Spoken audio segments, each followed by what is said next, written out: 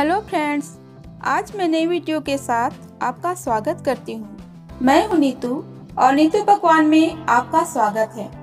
अक्सर हमारे घरों में थोड़े से चावल और रोटी बच ही जाते हैं तो इसी तरह अगर आपके पास थोड़े से उबले चने बच गए हैं और समझ में नहीं आ रहा है कि चने का क्या करें तो ये रेसिपी ट्राई करें।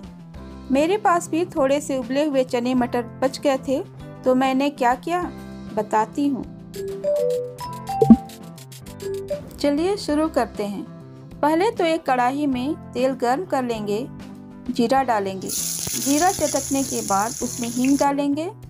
साथ में एक हरी मिर्च डाल देंगे और मिर्च को चलाते हुए भूनेंगे। वो भून जाने के बाद उसमें कटे हुए प्याज डालेंगे। प्याज को अच्छी तरह से चलाते हुए हल्का गुलाबी होने तक भूनेंगे। भून जाने के बाद उसमें आधा चम्मच अदरक लहसुन का पेस्ट भूनेंगे।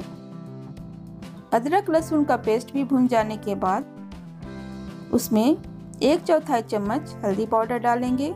एक चौथाई चम्मच जीरा पाउडर और आधा चम्मच धनिया पाउडर डालकर उसमें थोड़ा सा पानी मिलाएँगे। अच्छी तरह से चलाते हुए भूनेंगे। मैंने थोड़े से ही मसाले इस्तेमाल किए हैं क्योंकि मेरे पास थोड़े से चने और आलू बचे हैं। कटे हुए टमाटर डालेंगे। उसके साथ मैंने नमक डाल दिया है और टमाटर को चलाते हुए पकाएँगे। साथ में ढक्कन, ढक देंगे ताकि अच्छी तरह से टमाटर गल जाए। तो यह टमाटर पक चुका है। तो टमाटर गलने के साथ ही उसमें एक बड़े चम्मच छोला मसाला या चना मसाला डाल देंगे और थोड़ा सा कश्मीरी लाल मिर्च कलर के लिए डालेंगे। फ्रेंड्स आप कश्मीरी मिर्च डाल सकते हैं, यदि आप चाहे तो नहीं तो स्किप भी कर सकते हैं। और इस दोनों मसाले को भी अच्छी तरह से भून लेंगे। उबले हुए आलू को उसमें मिक्स करेंगे। हाथ से मसलते हुए मिक्स कर लेंगे और बचे हुए चने और मटर को भी उसमें मिला लेंगे। अब इन तीनों को मिला लेने के बाद स्पेचुला की मदद से आलू को तोड़ते हुए इसे अच्छी तरह से इसे चलाते हुए मिला लेंगे। फ्रेंड्स यदि आपको मेरी ये वीडियो अच्छी लग रही है तो लाइक करना ना भूलिएगा और नए तो सब्सक्राइब ज़रूर कर दीजिएगा। इसे थोड़ी देर भुनने के लिए ढक्कन लगाकर छोड़ देंगे। लगभग एक मिनट के लिए छोड़ेंगे और एक मिनट होने के बाद इसे फिर से चला लेंगे। ये सब्ज़ी लगभग भुन चुका है। तो आप चाहे तो इसे ऐसे ही सर्व कर सकते हैं।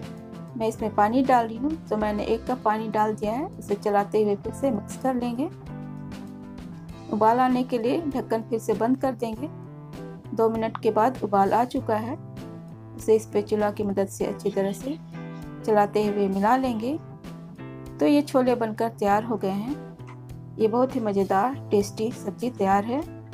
तो इसे और भी टेस्टी और चटपटी बनाने के लिए ऊपर से हम कटे हुए धनिया पत्ते से गार्निश कर लेंगे। अब ये टेस्टी सब्ज़ी पूरी तरह से तैयार हो गई है तो आप गैस बंद कर देंगे। अब इसे हम सर्व करते हैं। इसे हम पराठा या रोटी या चावल के साथ खा सकते हैं। तो फ्रेंड्स, मिलते हैं अगले वीडियो पर। पसंद आए तो लाइक ज़रूर कीजिएगा और कमेंट भी कीजिएगा।